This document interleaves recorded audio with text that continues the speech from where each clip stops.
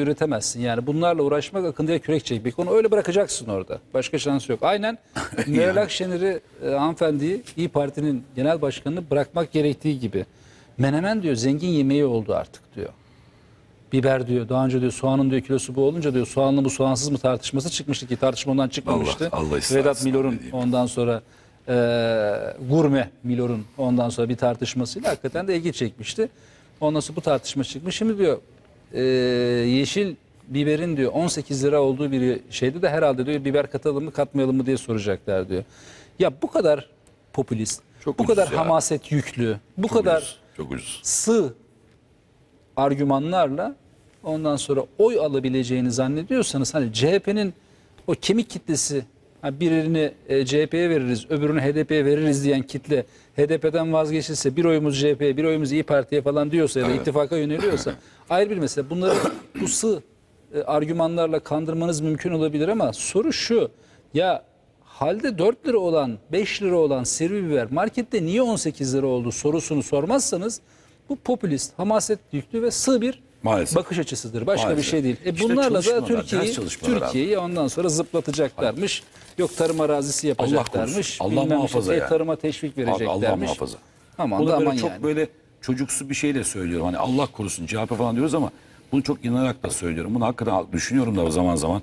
Yani bu adam e, işte efendim hale gitti.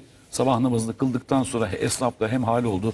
Öteki taraftan Meral Akşener menemen bir zengin yemeği artık çok domates pahalı. Öteki taraftan diyor ki bir tanesi tarımı pardon çözüm burada. Tarımı diyor e, teşvik edeceğiz. Ne ne yapacağım peki? E, Çok yakına getireceğiz. Böylece mesafe olmayacak. Na domatesi kurtaracağız. Patlıcanla ya patlıcan üzerinden, domates üzerinden, biber üzerinden siyaset üreteceksin. Ya ürete üretebiliyorsan bana bana bir altını açıklayıp da böyle bak eğer patlıcan sorununu çözersek herkese patlıcan lazım ve ne yapacaksın? Abi Türkiye sorununu çözeceğim. Arkadaş yani şimdi sen demiyorsun ki Türkiye küresel çapta bir mücadelesi var ya. Yani demiyorsun mesela arkadaş bir dakika dur tüneller yapıldı. Ben geldiğim zaman metro ağlarını bilmem ne kadar yapıp aynı zamanda da bir yandan da arka tarafımı kollamam lazım Membiş tarafında. Amerika ilişkileri, FETÖ, METÖ bunlar yok baba yani.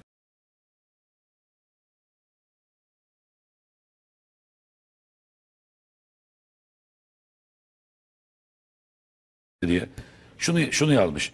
Ee, bizim köklerimiz bilmiyorum şu anda bulabilirsek şeyde Sabahta var sabahta. Ee, bir, o cümle bence çok doğru, yeterli olur bence. Şu cümleyi kurmuş buldum abi. Diyor ki e, demokrasi demokrasi kültürü bizim köklerimizde var. Yani Kılıçdaroğlu.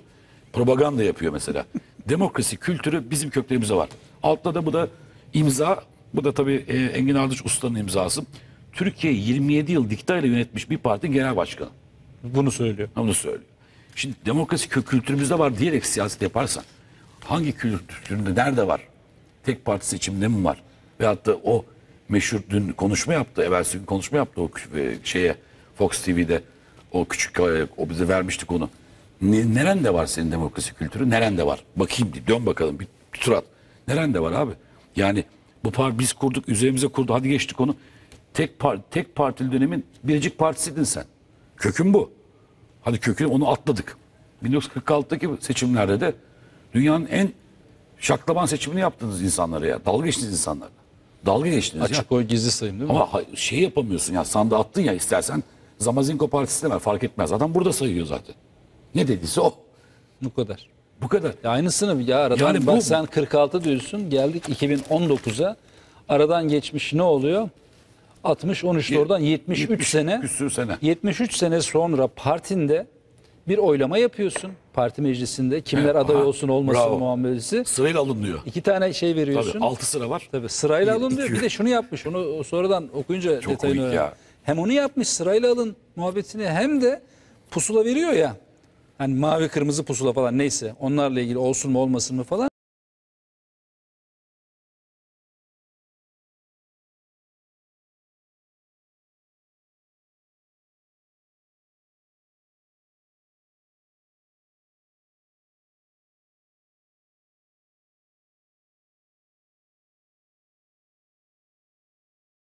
Aa, kökten buraya kadar aynı şey gelmiş. Değişen bir şey yok.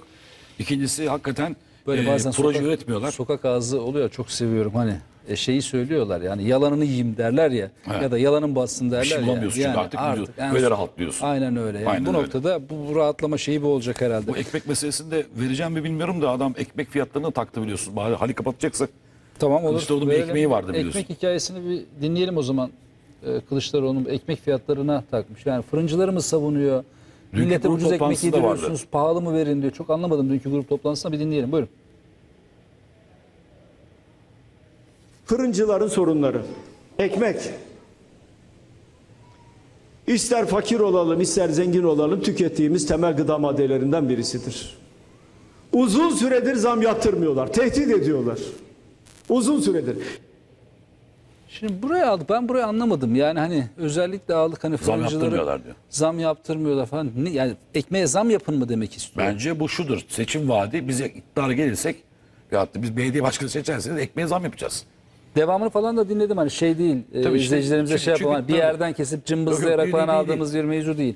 E, ya bunun un- olsa detayını falan Yok, anlatıyor. şöyle Bayağı söyleyeyim. uzun. Onun için almadım. Sadece Un bugün fiyatları söyleyeyim. da diyor yükseldi diyor. O yükseldi ama diyor fırıncılara diyor bir türlü zam yaptırmıyorlar.